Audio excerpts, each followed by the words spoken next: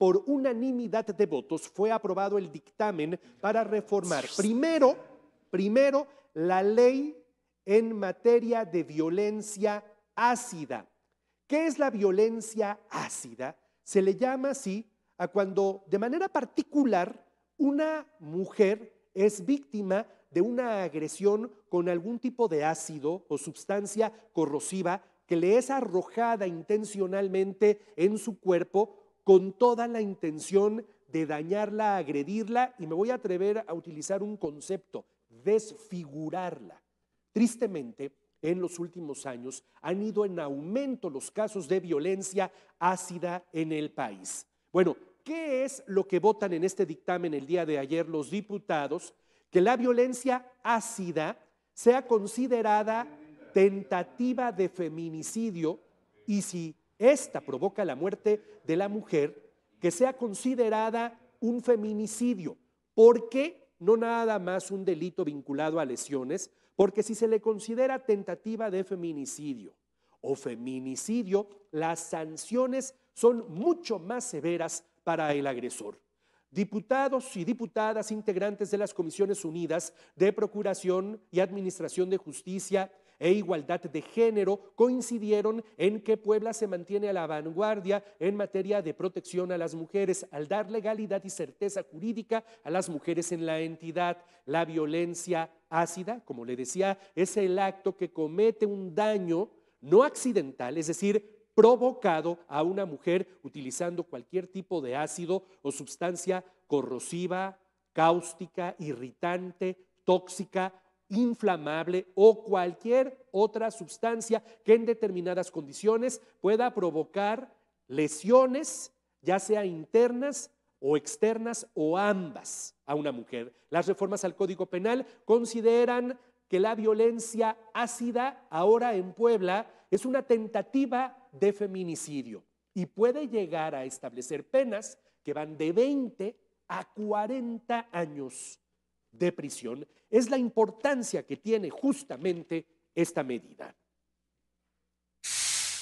Las iniciativas aprobadas este día sientan un precedente a nivel nacional y en el Congreso del Estado.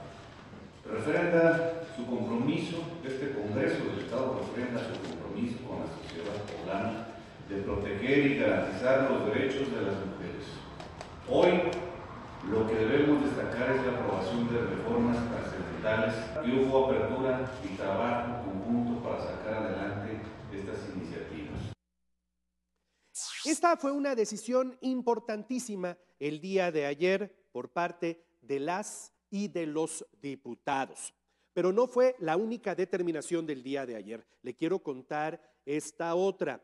Las y los integrantes de la Comisión de Procuración y Administración de Justicia de la legislatura número 61, ayer aprobaron por unanimidad reformar diversas disposiciones del Código Civil en materia penal para generar lo que hoy se denomina la ley Monzón. Ya le platicaba yo hace unos momentos de Cecilia Monzón, la activista que fue mandada a asesinar por su pareja sentimental, padre del hijo que, ella, que ella tuvo, que ella tuvo con él. Bueno, la ley Monzón establece que en una situación de este tipo, en automático, se pierda o se suspenda la patria potestad de quienes resulten responsables del delito de feminicidio es la ley Monzón. Con ello buscan mejorar condiciones de vida para los menores que perdieron